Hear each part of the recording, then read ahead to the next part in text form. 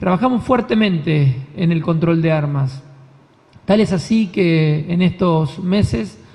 sacamos de circulación prácticamente 6.000 armas de la calle en procedimientos eh, de controles de calle, en procedimientos de rutina, en controles que llevó adelante la policía de la provincia de Santa Fe en todo el territorio provincial y en diferentes eh, investigaciones que terminaron con allanamientos de otro tipo de delitos, pero que se encontraron diferentes armas de fuego, que las mismas estaban en lugares eh, informales eh, que debían haber sido retiradas por la justicia, por el viejo sistema en 15 días y algunas estaban en comisarías desde el año 94 lo cual realmente nos provocó un problema sumamente importante. Esas armas fueron todas precintadas, custodiadas en el D4. Aquí tenemos al jefe del D4 de la Policía de la provincia de Santa Fe.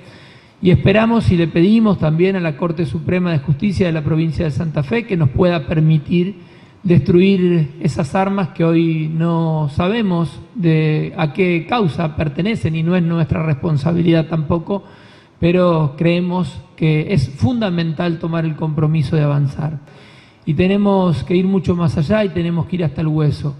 Por eso creemos fundamental eh, poder llevar adelante eh, este trabajo conjunto con Nación, que nosotros nos va a permitir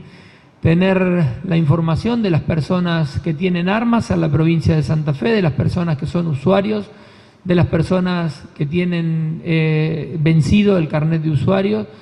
eh, y así poder conjuntamente con el MPA llevar adelante una fiscalización en cada uno de esos domicilios y un control en cada uno de esos domicilios que nos va a permitir seguir sacando armas de la calle.